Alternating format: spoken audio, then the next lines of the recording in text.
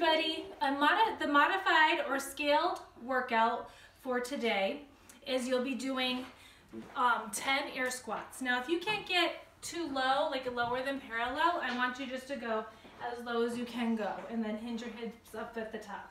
So as far as your range of motion allows you to do, that is your, um, your air squat. So do 10 of those and then you'll do a plank into the chair, jump up and come up. Not with any weight, so you just step back and jump up. So watch that again. So here's my plank with the chair.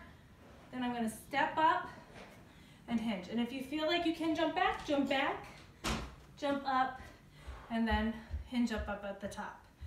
Then you'll go into crunches, so get on the floor, and you'll crunch up.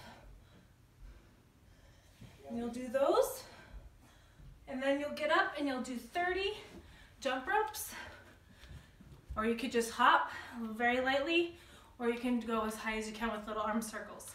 So 30 of those. And that is your modified version for today's workout.